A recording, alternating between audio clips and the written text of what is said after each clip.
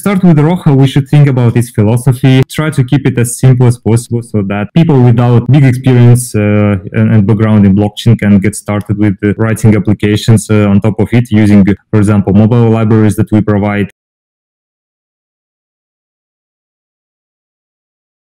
overview of Iroha 2. It is written in Rust. As I said, all data is kept in memory, but you shouldn't worry like uh, we do not write anything on disk and so your data is volatile because uh, the blocks are updated on the disk, so nothing is lost. Hyperledger Ursa, which allows us to um, use any cryptography algorithm that is supported by Ursa. And we also use multi-hashes for transactions. Turing completeness in smart contracts could be achieved uh, either by using instructions or later by virtual machines.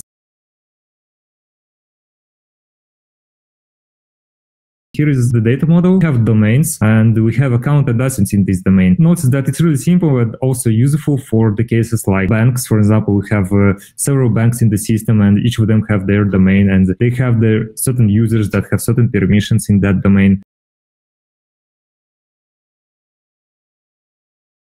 We'll first review our Genesis file, then we generate some accounts and uh, spin up the network and start interact with it. For Genesis file, you can go to Iroha folder and example of it you can find here. So basically the Genesis contains the list of transactions that are executed in the very first block. Here, for example, we register new domain called Wonderland. Then we register a new account, Alice at Wonderland. Uh, we register some assets like Rose at Wonderland. Yeah, we also mint some of these assets and give it to Alice. Yeah, for example, in that case, we have 13 uh, roses minted.